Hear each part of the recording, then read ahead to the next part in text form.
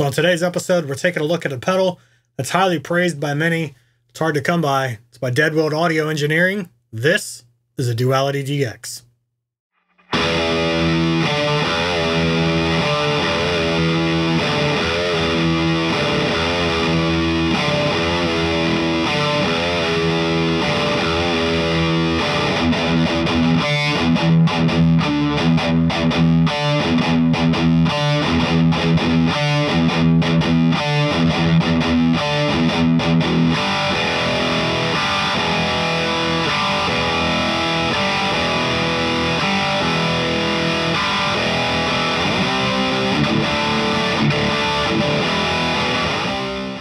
What's going on, everybody? Thanks for tuning in. My name is Chase. This is That Sounds Terrible.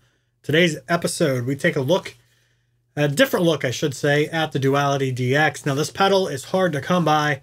Um, I'm not sure what the current wait time is or what the next batch is coming out, but um, I let a buddy of mine borrow this, and, and he was telling me he didn't really like the red channel. Uh, the red channel is kind of the most prized possession of this pedal by a lot of guys, and um, yeah, so for those of you who don't know, there's three channels. There's a blue, a green, and a red. The blue channel is the bottom three knobs. The green channel is the top three knobs, and the red channel is both. Uh, it has a built-in noise gate.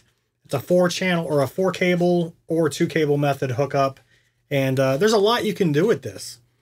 So I just kind of wanted to take today's episode and kind of look at it from a different perspective um, more or less how to use the red channel, or at least how I use the red channel.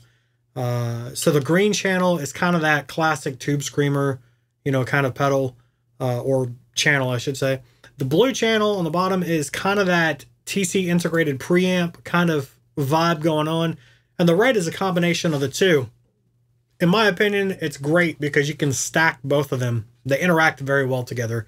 And I think that's how this is, in my opinion, it should be used. Uh, I think it's called the Fusion channel on the website, but it's just a great channel and a great way to play uh, with kind of gain stacking or gain staging.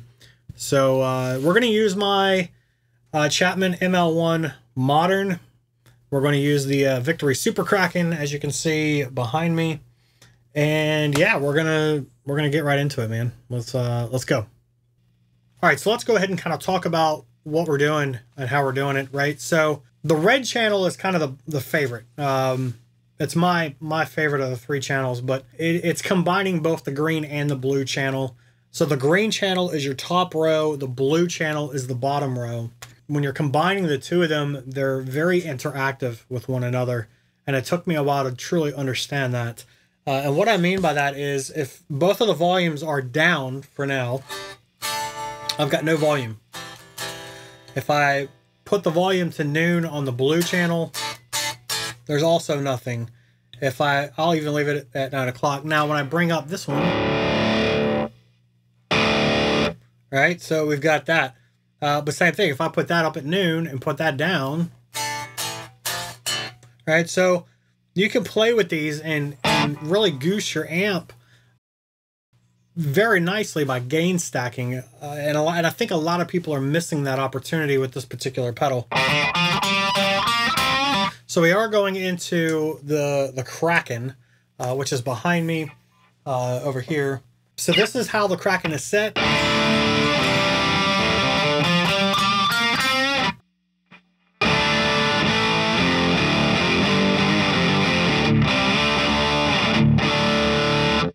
All right, so I've got the, the Kraken pretty pretty gained out a little bit. And this is going to be what I'm going to use to push it over the edge. I'm going to get some compression out of it. I'm going to get, you know, some extra saturation and stuff like that. And it's really going to sound, to me, very nice. But I want to kind of talk through this. So I've got my room cab turned off and just the ISO cab. So you you should be able to hear both. Um, but let's go ahead and take a look at how we're going to do this. So when you when you apply the pedal in the red mode, right, I like to set both of the volume to about 9 o'clock. then what I like to do is I like to adjust my low end and my, my treble from the blue channel, which is the bottom three knobs. So I always push the gain just past noon a little bit, or the, uh, the low end. And then I typically general ballpark. And I do that on almost all TC integrated preamp style pedals, uh, Pepper's Pedal Dirty Tree, for example. So then you can push your gain.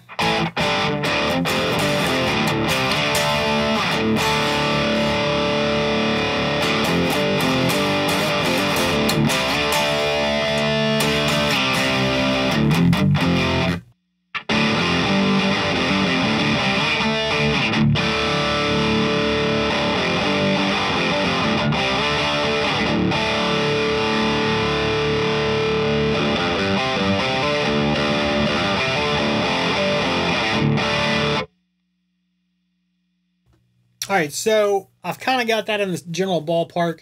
The volume knob, I'm not too worried about. We'll play with it here in just a minute. So I'm going to adjust that to about 9 o'clock. Now we're going to go into the green channel and play with it.